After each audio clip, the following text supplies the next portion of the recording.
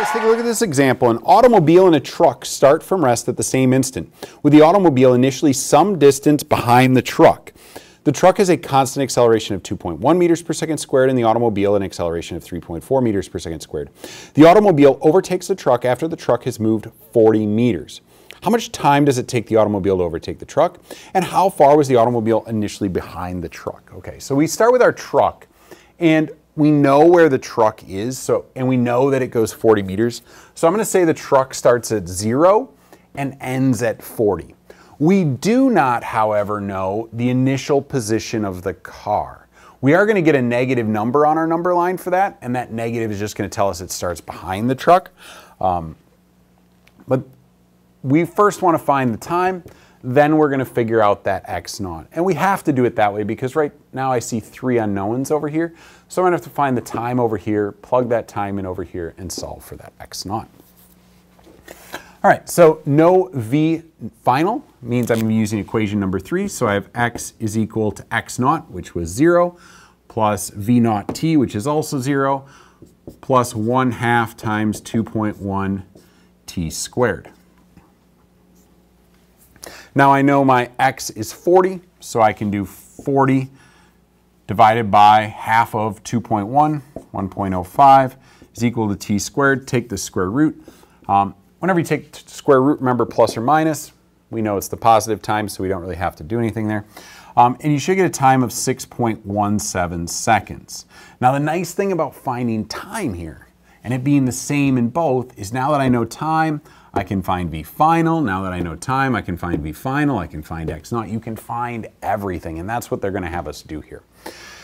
So now that I know my time, I'm going to go ahead and solve for x naught. So I have 40 is equal to x naught plus v naught t, but v naught was 0, so that term's gone, plus 1 half times 3.4 times 6.17 squared.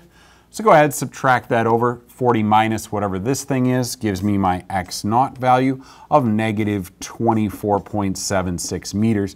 The fact that it's coming out negative is just telling me that it starts behind my x equals 0 or where my truck starts.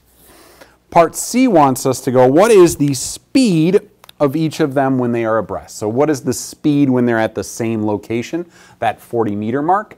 Um, so I just need to go ahead and solve for these two v's. So I'm going to use um, the first equation there. So v is equal to v naught plus at. So all I need to do is put in my 3.4 times my 6.17, and I get about 21 meters per second or so. Um, when I do it over here, I get V is equal to 2.1 times 6.17. Um, and this comes out to about 13 meters per second. So yes, the car is moving faster than the truck at that point. Part D, on a single graph sketch, and there's that word sketch. Whenever we sketch, we want to identify points that we know, intercepts, things like that, asymptotes. Um, sketch the position of each vehicle as a function of time. Take x equals 0 at the initial location of the truck. Good thing we chose that. All right, so we have our position versus time graph. And we know the initial position of the truck. Starts out there. Um, we know the final position of the truck, it's at 40 meters, and we know the time even for that position. That time is at 6.17 seconds. So we know that location. We know that both the truck and the car are going to cross here. We know that the truck starts at zero meters. We know the car starts at negative 24.76 meters. We'll do the truck in green, I guess, here. So our truck starts out at rest, so it starts out with a flat line, and we should see it curving up here.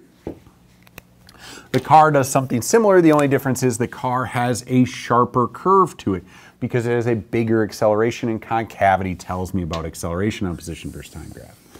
So I might have something like this. When it gets to that point, my blue line, my car, should be steeper than my green line, my truck, and they do match that.